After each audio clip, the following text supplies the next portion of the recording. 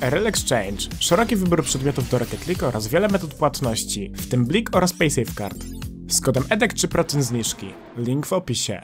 Witam was serdecznie w kolejnym odcinku Drogi do Grand Championa na klawiaturze. Dzisiaj zaczynamy sobie na randze Diamond 2 Dywizja druga i spróbujemy dobić czempiona. No i generalnie wielu z was pisało pod ostatnim filmem jakieś tam wskazówki co do latania, żeby sobie zbindować, jakieś error left, error right i tak dalej. No i tutaj chciałbym wam powiedzieć, że no tak naprawdę ta seria zakłada, że ja nie będę nic tutaj potrafił robić, nie będę umiał za bardzo latać, nie będę ćwiczył, tak naprawdę od początku tej serii zagrałem na klawiaturze mniej więcej z godzinę i chcę po prostu pokazać, że nie potrzeba mieć tych umiejętności, pokazać wam, że bez posiadania umiejętności, żadnego latania i tak dalej, bez żadnych mechanik, tylko i wyłącznie samą wiedzą, wiedzą o grze, doświadczeniem, wiedzą kiedy, jak i gdzie uderzyć piłkę, da się wbić tego Grand Championa, no chyba, że mi się nie uda, bo może być ciężko. Wiadomo, że 3 na 3 to tutaj jest tryb drużynowy, więc dużo też zależy od moich teammateów, jak oni będą grali i ciężko czasami może być wygrać meczek, ale dążę do tego, że po prostu, no jak widzicie, tutaj nie muszę nic zrobić, wystarczy czasami nic nie spierdzielić i już jest meczek wygrany tak naprawdę. Ja pewnie im wyżej będę się pnął z rangą, tym tutaj moja obecność w meczu będzie mniejsza, przynajmniej w ofensywie. Będę się starał bardziej tutaj nikogo nie konfuzować, zagrywać taki, żeby po prostu naszym teammateom się dobrze grało. No i wygrywać te spotkania, taki jest cel serii. Także mówię, ja tutaj nie będę się uczył latania poza odcinkami i tak dalej, bo moim zdaniem, no moim zdaniem ciekawsza jest to seria w momencie, kiedy nie potrafię tych mechanik i uważam, że są one niepotrzebne. Tutaj akurat bardzo słabo wybiłem, może być z tego stracona bramka. Mówię bardzo słabo, bo się nie spodziewałem, że przeciwnik będzie w stanie już tak fajnie sobie pre-jumpnąć moje wybicie. I już będę miał na uwadze teraz, żeby wybijać bardziej tak, żeby oni nie mogli tego zablokować jakkolwiek. Niewygodna piłka, z tego nie będzie strzał w bramkę. I sobie lecimy. Ciśniemy, jeden minięty, drugi minięty. Nasz teammate nam tutaj trochę pomógł, no i strzelamy bramkę na 2 do 0. No, także jak widzimy, no naprawdę, zamysłem tej serii jest to, że ja nie będę nic potrafił. Wiem, że teraz pewnie każdy, kto ogląda film, jest mniej więcej na poziomie diamenta, platyny czy tam czempiona, widzi, że nic nie potrafię, jakim cudem wbijam rangę nic nie potrafiąc. No więc, no, to są właśnie te takie rzeczy, na które się nie zwraca uwagę, jak się jest, nie powiem, że na niższym poziomie, tylko po prostu, czy to oglądając filmy i tak dalej, zawsze to się inaczej odczuwa. No ale dobra, koniec tego gadania, zobaczmy tutaj jak leci meczek, bo naprawdę teammates już trafiają w piłkę i tak naprawdę ten aerial na przykład, co teraz wykonał Zachi, był nawet celny. No ale w sumie już mamy diamenta dwójkę, więc przeciwnicy tutaj i teammates powinni robić coraz lepsze rzeczy. Wygrywamy 2 do 0. Tutaj zabierzmy przeciwnikowi boosta. Każdy jest u nas w kornerze, jest pusta bramka. Jeżeli on tego nie zepsuje, a zepsuł to, bo mógł strzelić bardzo łatwego opena, gdyby to zrobił dużo szybciej. Dobra, on może kopnąć na bramkę, dlatego ja to asekuruję, blok i tracimy gola, dokładnie. A i w ogóle co ciekawa sprawa, my mamy w teamie dwóch teammateów, co są po prostu razem w party i cały przeciwny zespół też jest razem w party. Więc jak widzimy jest to na pewno już coś ciekawszego, że tutaj ludzie tak bardzo, jak grają ten tryb to razem. Bardzo słaby strzał. Ja do tego będę pierwszy, jeżeli polecę od razu. Wywaliłem się. No niestety na klawie, tak jak mówię, klawisze mi się mocno mylą. Ale jest git. Na wszelki wypadek, jakby to dobrze kopnął, się cofnę. Poasekurujemy, ale Bombastic już leci tutaj z pięknym aerialem. On nie powinien tego dotykać tak naprawdę. To, że mój teammate poleciał na tą piłkę tylko i wyłącznie nam przeszkadza w defensywie i stworzyło tak jakby zagrożenie. Jakby to mi zostawił, to ja bym miał darmowe wybicie, bardzo łatwe. No ale no, to są właśnie te błędy. Tak samo to coś, co zrobił Bombastic, teraz to też było tak naprawdę dośrodkowanie, jakby tam ci się jakkolwiek lepiej zachowali. Proszę, zostaw to. No właśnie, no tutaj... No nie wiem, czy zwracacie na to uwagę normalnie, jak gracie, ale naprawdę jest mega takich dużo błędów, że lecenie na piłkę, po którą totalnie nie ma sensu, o kurde, uderzyć, do której nie zdążacie, która tak naprawdę działa wam na niekorzyść. I właśnie samo nie robienie tego już jest dużą zaletą waszą. Lecę za tym, bo czemu by nie? Dobra, no ale jak widzimy wygrywamy pierwszy meczek i zobaczymy jakie to były rangi. No jak widzimy praktycznie każdy miał diamenta dwójkę. No i dobra, kolejne spotkanie, tym razem mamy znowu w przeciwnej drużynie cały teamek i znowu w naszym teamie dwie osoby, co są w party. Zobaczymy jak pójdzie, tam jeden chyba awczy, ale już zaczyna się ruszać. Ja to prawdopodobnie... O kurde, oni też skoczyli. Dobrze, że ziomek nie trafił, bo byłoby niebezpiecznie. Sobie po prostu kopnijmy, tak? Albo wiecie co? Podlecę jakoś to dotknąć jeszcze, albo sfejkować. Nie było to niebezpieczne, szybko się cofam do tyłu, więc jest git. Nasz teammate... O kurde, to było bardzo niebezpieczne. Jest open? Proszę, dobij to. Nie trafiłem. Passplay z randomem z diamenta, proszę państwa, nie trafili na opena, skutkuje najlepszą bramką w tej serii. Au, muszę poćwiczyć te openy, chociaż nie no, śmiesznie jest jak ich nie trafiam. Tak bardziej, no bardziej zabawnie pewnie, jak widzicie jaki bobek jestem. Ja tutaj na wypadek jakby to leciał w bramkę się zawróciłem, tam nie byłem pierwszy i teraz bomba. On się może wywalić, strzelić on gola albo nie trafić wcale. Niestety go asykurował teammate. Asykurujmy sobie bramkę. Nasz teammate raczej w to nie trafi. Nie!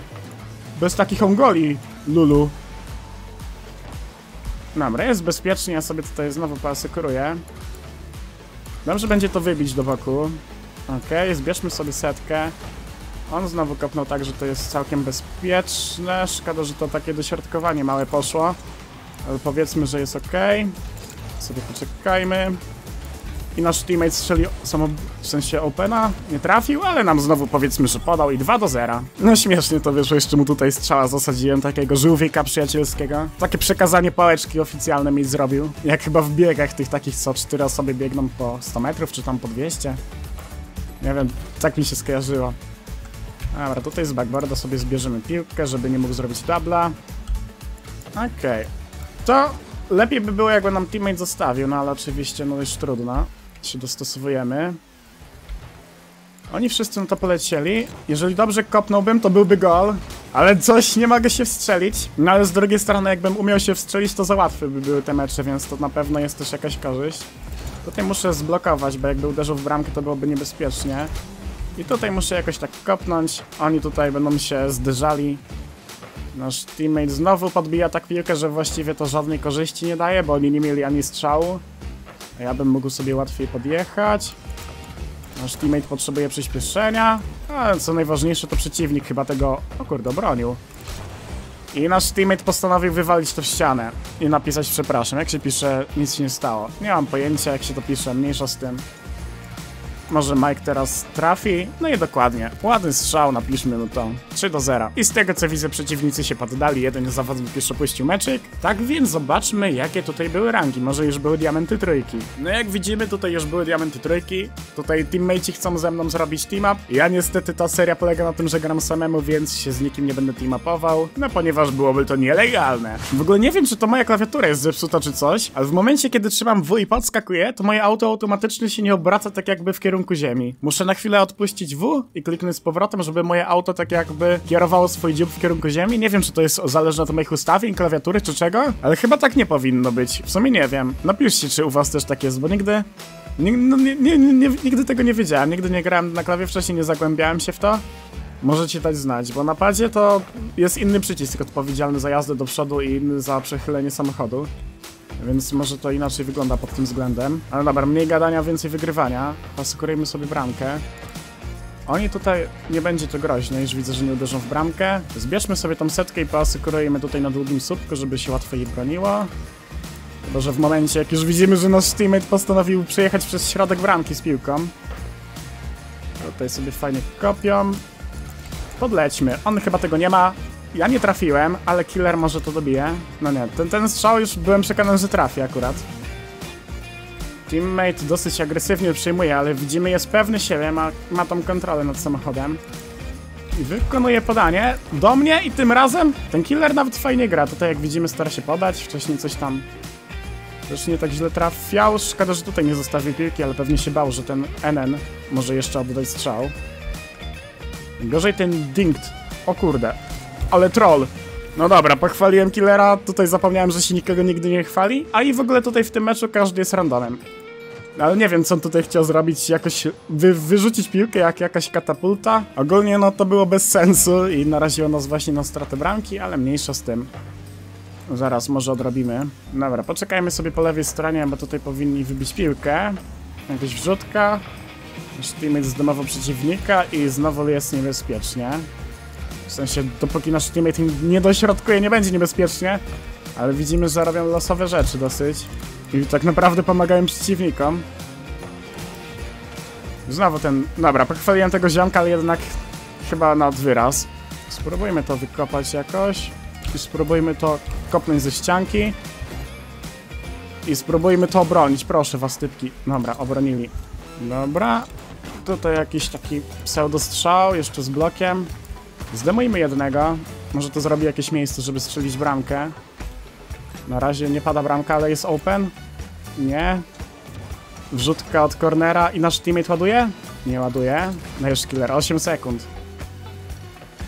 Cały mecz się nie udawało, może teraz się uda. Przeciwnik niestety postanowił trafić piłkę. Dobra, wierzę w ciebie. Dobra, nie, nie warto było wierzyć. No i tak naprawdę jeden błąd, że nasz teammate postanowił zrobić katapultę w polu karnym spowodował, że przegrywamy. Zobaczmy rangi i zagramy jeszcze jeden meczek, żeby się odkuć za to spotkanie. Każdy diament 3. No i dobra, spotkanie numer 4, a zarazem ostatnie w dzisiejszym filmie. Znowu każdy jest randomem w lobby. Co ciekawe, że jak trafialiśmy ludzi, co nie są randomami, typu są w jednym party, to w przeciwnym teamie też byli w party. Jak trafiamy randomów, to tutaj też są randomy. Ale może to przypadek, może nie, w sumie nie wiem, nigdy się nad tym nie zastanawiałem. Spróbujmy po prostu nadrobić to przegrane spotkanie poprzednie. O kurde, ktoś już komendy podaje, chyba nigdy w życiu tego nie widziałem. Nie wiem, czy to jest centering, w sensie centruje? Centering? Nie wiem, jak to się wymawia. Nasz teammate nie trafia w piłkę, nikt nie trafia w piłkę. I trafili Opena, nasz teammate jeszcze chyba próbował to obronić. Nie wiem, czy jest taka zależność, ale dużo lepiej mi się grało te mecze, co wszyscy ludzie byli w party. W sensie grali z kimś w teamie, w przeciwnej drużynie widzimy w ogóle Ziemek ma tytuł za Grand Czempiona w trzecim sezonie. Ale przyjemnie mi się grało, no nie, jeszcze nie jedzie do kickoffa, do którego powinien jechać. Ale powiedzmy, że jest w miarę bezpiecznie. Temu dostajemy, sprzedajemy kopa za karę. Że jest taką za karą. Oczywiście, z, no ma to dlatego tak powiedziałem, nie to, że mi go obrażał. To zostaw. Nie, ogólnie mam wrażenie, jakbyśmy się cofnęli do tego Golda czy Platyn, jeżeli chodzi o Game Sense, o to, jak ludzie się zachowują w pobliżu piłki. Może to dlatego ci ludzie nie potrafią sobie znaleźć teamu znajomych do zagrania, bo właśnie takie rzeczy robią, ale nigdy nie wiadomo. Mniejsza z tym i tak musimy wygrać, musimy z tego wyjść, pokazać, że mimo takich niepowodzeń w matchmakingu da się, da się to jeszcze nadrobić i wygrać spotkanie. I mam nadzieję, że nie stracimy z tego gola. Dobra, mu sprzedam kopa, żeby nasi mogli łatwiej skontrować, tu nie ma boosta, to sobie będę czekał w bramce i zbierał dwunastki. Wybicie do roku, żeby było bezpiecznie. Znowu wbicie, żeby było bezpiecznie. Nasz El Cezaro, widzimy, że leci na aeriala, ale to się raczej nie skończy zbyt potężnie. Ten podał nam piłkę tak naprawdę, zróbmy wrzutkę i nie straćmy z tego. Dobra, podjadę na pierwszy... Dobra, nasz teammate jedzie na pierwszy ogień, to wezmę sobie setę. On tego nie trafia. I tracimy bramkę? Tracimy bramkę. Jaki ty masz refleks, El Cezaro? Generalnie no, sfejkował mnie ziomek. Jeżeli by na to nie leciał, to nie byłoby problemu żadnego. No nieważne, trzeba się do tego zaadaptować i pokazać, że da się z tym wygrać. Ale naprawdę jest ciężko. Dajesz Zako. Potężny przerzut na drugą. Wiecie co, ja to będę asykurował po prostu. Nie straćmy gola i będę zadowolony. Proszę, wybij to Zako. Jaki safe close. Mam wrażenie, że te mecze, jak każdy jest bez party, to ludzie są lepsi trochę mechanicznie, w sensie trudniejsze piłki są w stanie trafić, czy to tam latają na trudniejsze piłki, ale są zarazem dużo bardziej bezmyślni i robią dużo głupsze rzeczy sobie weźmy piłkę. Tutaj jakieś taka podbitka. Nie ma naszego teammate'a, żeby to dobił. O kurde, to jest niebezpieczne. Dobra, nie! Uff, dobrze, że nie trafił. A tam jeden się w ogóle przestał ruszać, ten z falam na środku. Nie, nie dośrodkowuj tego. Dobra, jest git. Zostawmy mu piłkę, niech sobie poleci na aeriala. On cały czas się nie rusza, czyli gramy teraz z przewagą liczebną i El Cezari pokazuje dlaczego ma prawie czempiona, strzela Opena. Ja niestety nie potrafię strzelać Openów, ale od tego są randomy powiedzmy. Ale cieszę się, że to nie w naszym teamie jest gości co ma AFK, bo byłoby ciężko. 13 sekund to najważniejsze jest nie stracić i teraz jest giga dużo czasu. El Cezari zamiast zrobić coś przydatnego postanowił nie, dobra, ja po prostu będę czekał w defensywie, żeby tego nie stracić. To, co się tam dzieje, to jest coś, co nie chcę nawet komentować, ale udało się wygrać spotkanie. Pomogło na pewno to, że przeciwnicy byli AFK, ale mniejsza z tym, zobaczmy, jakie były rangi. Jak widzimy, każdy poza mną miał praktycznie diamenta dwójkę. Może też faktycznie ludzie tutaj mieli trochę mniejszą rangę i przez to ten poziom był odczuwalnie trochę słabszy, ale wydaje mi się, ja w sumie nie wiem, nie ma co po jednym meczu tutaj oceniać. Ważne, że wygrana. I to by było dzisiaj na tyle. Oczywiście zapraszam was do zostawienia lajka, suba, czy tam jakiegoś komentarza. Życzę wam miłego dnia już bez przedłużenia. Elo, elo.